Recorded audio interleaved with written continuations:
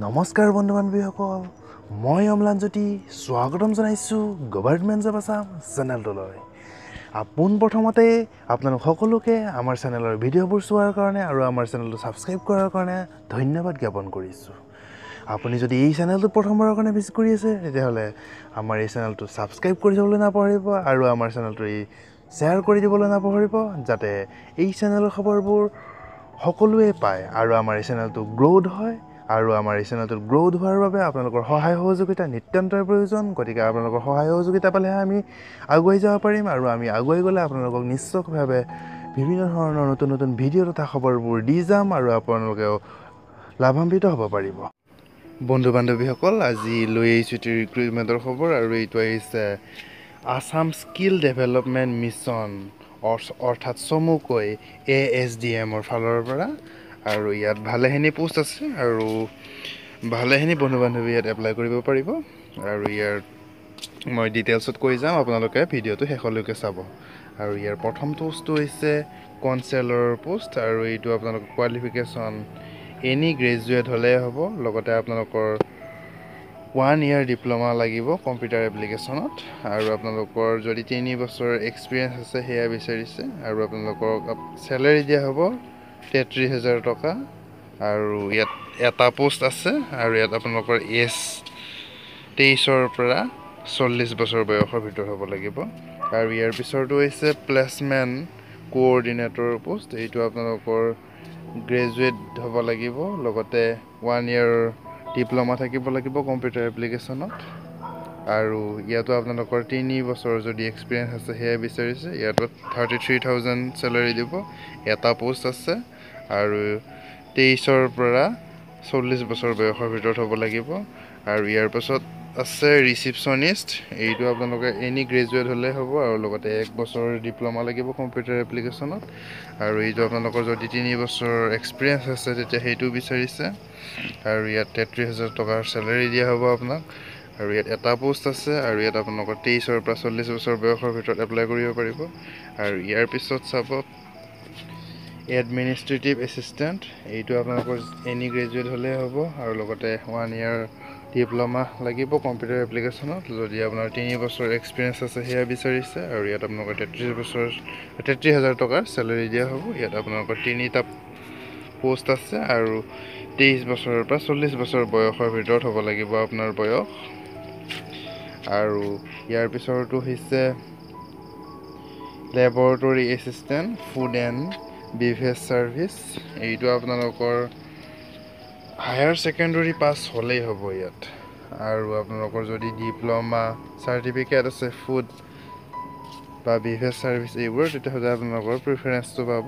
আৰু ইয়াত যদি দুই বছৰ এক্সপিৰিয়েঞ্চ আছে আপোনালোকৰ তেতিয়া সেইটো বিচাৰিছে। লগতে পোন্ধৰ হাজাৰ টকা চেলাৰি দিব আপোনাক। এটা পোষ্ট আছে আৰু তেইছৰ পৰা চল্লিছ বছৰ বয়সৰ ভিতৰত হ'ব লাগিব আপোনাৰ। আৰু ইয়াৰ পিছৰটো হৈছে লেবৰেটৰী এছিষ্টেণ্টৰ পোষ্ট হস্পিটেলিটি হাউচকিপিং আৰু এইটো আপোনালোকৰ হায়াৰ ছেকেণ্ডেৰী পাছ হ'লেই হ'ব আৰু যদি আপোনাৰ এনেকুৱা ডিপ্ল'মা চাৰ্টিফিকেট আছে হাউচকিপিঙৰ তেতিয়াহ'লে আপোনালোকক প্ৰিফাৰেঞ্চ দিয়া হ'ব আৰু ইয়াত যদি দুই বছৰ এক্সপিৰিয়েঞ্চ আছে সেয়াই বিচাৰিছে পোন্ধৰ হাজাৰ টকা চেলাৰি দিব এটা পোষ্ট আছে আৰু তেইছৰ পৰা চল্লিছ বছৰ বয়সৰ ভিতৰত হ'ব লাগিব। ইয়াৰ পিছৰটো আছে laboratory assistant beauty and wellness এইটো আপোনালোকৰ হায়াৰ ছেকেণ্ডেৰী পাছ হ'লেই হ'ব। আৰু ইয়াত আপোনালোকৰ দুই বছৰ যদি এক্সপিৰিয়েঞ্চ আছে সেয়াই বিচাৰিছে পোন্ধৰ হাজাৰ টকা চেলাৰি দিয়া হ'ব আপোনাক। এটা পোষ্ট আছে আৰু তেইছৰ পৰা চল্লিছ বছৰ বয়সৰ ভিতৰত হ'ব লাগিব। আৰু ইয়াৰ পিছৰটো চাব লেবৰেটৰী এছিষ্টেণ্ট ৰিটেইল ছাৰ্ভিচ আৰু এইটো আপোনালোকৰ হায়াৰ ছেকেণ্ডেৰী পাছ হ'লেই হ'ব যদি আপোনালোকৰ ৰিটেইল চাৰ্টিফিকেট অথবা বা ডিপ্ল'মা আছে ৰিটেইল অপাৰেশ্যনত তেতিয়াহ'লে আপোনালোকক প্ৰিফাৰেঞ্চ দিয়া হ'ব। আৰু এইটোত দুই বছৰ যদি এক্সপিৰিয়েঞ্চ আছে সেয়া বিচাৰিছে। পোন্ধৰ হাজাৰ টকা চেলাৰি দিয়া হ'ব আপোনাক। এটা পোষ্ট আছে আৰু তেইছৰ পৰা চল্লিছ বছৰ বয়সৰ ভিতৰত হ'ব লাগিব। আৰু ইয়াৰ পিছৰটো হৈছে অফিচ পিয়ন আৰু ইয়াত আপোনালোকৰ মাথো ক্লে ক্লাছ এইট পাছ কৰা হ'লেই হ'ব। এইটো পোষ্টত ভালেখিনি বন্ধু বান্ধৱী এপ্লাই কৰিব পাৰিব। আৰু ইয়াত আপোনালোকৰ যদি তিনি বছৰ এক্সপিৰিয়েঞ্চ আছে তেতিয়াহ'লে সেইটো বিচাৰিছে তেতিয়াহ'লে আপোনালোকৰ প্ৰিফাৰেঞ্চটো পাব।